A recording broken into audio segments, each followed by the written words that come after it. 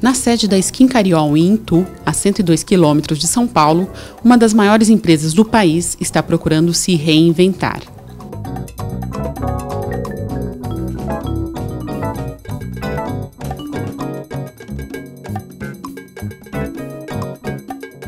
Mudança de controle, disputa judicial, briga familiar, prejuízo.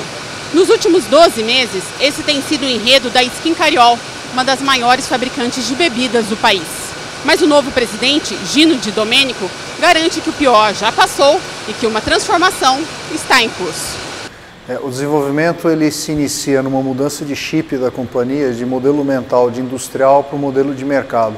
O resultado desse trabalho nessa primeira fase significa uma reorganização do nosso portfólio em todo o Brasil. Então, uh, não são mudanças tão radicais, mas são mudanças efetivas no sentido de construção de rentabilidade para a companhia. A cerveja Baden-Baden Stout, por exemplo, deixou de ser vendida em Manaus.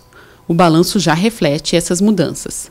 Para esse ano nós temos um EBITDA planejado de 550 milhões de reais.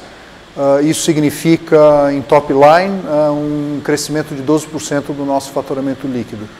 E o que eu posso dizer é que nós estamos no, no caminho dessas, uh, dessa meta. A palavra de ordem na Skin Cariol é deixar de ser uma empresa simplesmente industrial para se transformar em uma empresa de marcas fortes. Para isso, interessa entender melhor o consumidor e se aproximar do ponto de venda.